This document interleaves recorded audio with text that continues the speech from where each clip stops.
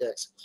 Uh, but honestly, I have to say, Mr. Taskiscon is in connectivity, but uh, because uh, from that uh, day of uh, Honorable our Prime Minister 2009 came in power and he picked up um, Taqsem uh, to and give him the um, the, the authority to, for to build up this uh, Dhaka WASA.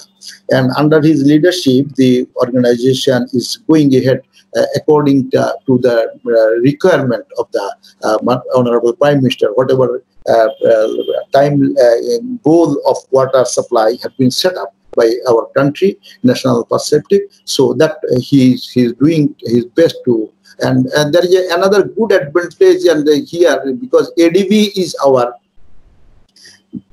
very very potential and very uh, uh, uh very remarkable uh, our development partner in many sectors especially water they have given so I, uh, for your consumption, I want to point out one thing. Then actually, the uh, in the uh, in the name of the system loss, there is a lot of uh, filterage and many other things was. So but um, uh, Mr. Taqsem, he has given his input. Because of that, the what uh, and the revenue collection and system loss have been drastically reduced. It is very, very, I, I think, very appreciable uh, in status uh, it, it is. I think it could be the example of many uh, contemporary countries where there is a, uh, in case of anywhere else, there is a mismanagement of the water um, supply and the tariff collection.